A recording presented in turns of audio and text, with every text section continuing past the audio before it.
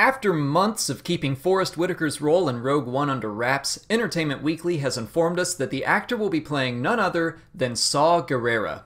This revelation is actually a huge deal because it's the first time we're going to see a character first introduced outside of the films make their way onto the big screen in the new canon.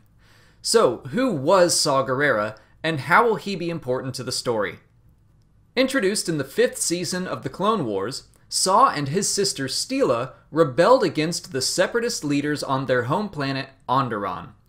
The Jedi sent Ahsoka Tano, Obi-Wan Kenobi, and Anakin Skywalker to help train the small group, so Saw took lessons from Darth Vader himself. They were able to push the separatist occupation off of Onderon, but Steela was killed in the fight. Saw was shown to be somewhat stubborn, hot-tempered, and extreme. He took on the leadership role of his organization without a vote, and when his people chose to follow Steela instead, he was very displeased. His extremist views carried on into the Galactic Civil War. Thanks to mentions in both Star Wars Rebels and Claudia Gray's novel Bloodline, we not only know that Saw was a part of the rebellion against the Empire, but was also credited with some of the quote, terrorist tactics of the Rebel Alliance, and the campaigns of Saw Gerrera's partisans are specifically mentioned. Now for some speculation on what we might see in the film itself.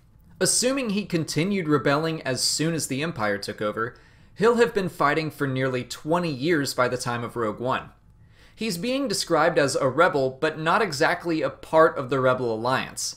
I could see him as kind of like a reluctant helper to our main heroes. He'll probably talk about how the Alliance is too soft to do what needs to be done, which is a theme that's already been brought up in the new comics. But ultimately, he'll see the Death Star as a major threat to the galaxy, and he's gonna help, despite a difference in philosophy. That's my guess anyway.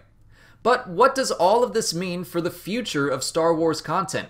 I think the inclusion of Saw Gerrera opens up a lot of doors for characters, events, and ships that have been introduced outside of the films.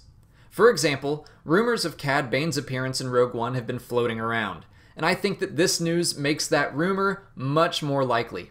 I love that Lucasfilm isn't afraid to include an established character in the new films, which, like it or not, will always drive the main Star Wars storylines. That's it for today. Please subscribe, like, and share to see new Star Wars videos every weekday. And if there's a specific Star Wars topic you'd like me to cover, leave it in the comments and I'll do an episode about it.